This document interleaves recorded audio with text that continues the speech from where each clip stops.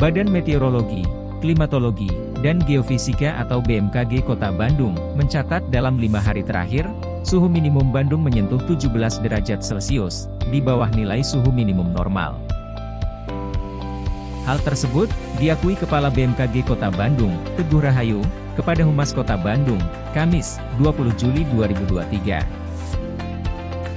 Ia menjabarkan, suhu udara dingin belakangan ini, merupakan fenomena alamiah yang umum terjadi, ketika masa puncak kemarau pada Juli hingga Agustus. Pada tanggal 14-18 Juli, BMKG mencatat suhu kota Bandung sempat mengalami kenaikan dari 19 derajat ke 20 derajat Celcius. Namun pada tanggal 18 Juli, memang terjadi penurunan suhu ke 17 derajat Celcius. Jelas perempuan yang kerap disapa Ayu ini.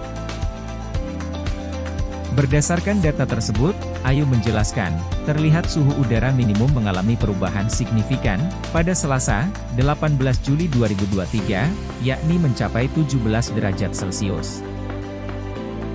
Padahal, nilai suhu minimum normal pada bulan Juli adalah 18,2 derajat Celcius, dan pada Agustus nilainya 17,5 derajat Celcius.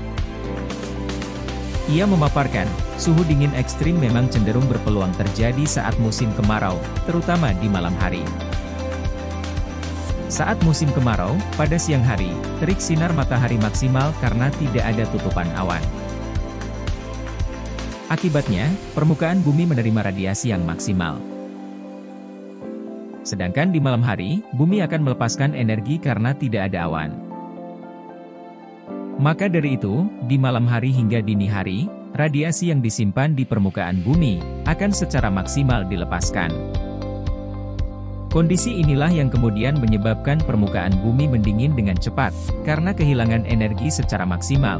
Dampaknya adalah, suhu minimum atau udara dingin yang ekstrim di malam hingga dini hari, ungkapnya. Selain itu menurut Ayu, penyebab tambahan mengapa suhu udara menjadi dingin pada puncak musim kemarau adalah, karena adanya musim dingin di wilayah Australia. Terdapat pola tekanan udara yang relatif tinggi di Australia, menyebabkan pergerakan massa udara dingin menuju Indonesia, atau lebih dikenal dengan angin monsun Australia. Hal ini juga merupakan penyebab utama terjadinya musim kemarau di Indonesia, Angin monsun Australia ini membawa suhu dingin yang berada di wilayah Australia ke wilayah Indonesia, yang berada di wilayah BBS atau belahan bumi selatan, paparnya. Ia mengatakan, fenomena suhu dingin ini, secara empiris akan berlangsung hingga Agustus 2023.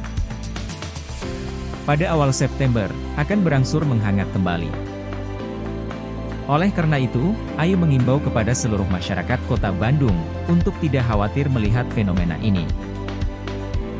Sebab, suhu dingin pada puncak musim kemarau, adalah suatu fenomena yang wajar terjadi, terutama untuk wilayah Indonesia di BBS. Masyarakat diharap untuk menyiapkan diri dengan menggunakan jaket dan atau selimut di malam hari, dan selalu menjaga stamina tubuh sehingga terhindar dari berbagai potensi penyakit, imbau Ayu.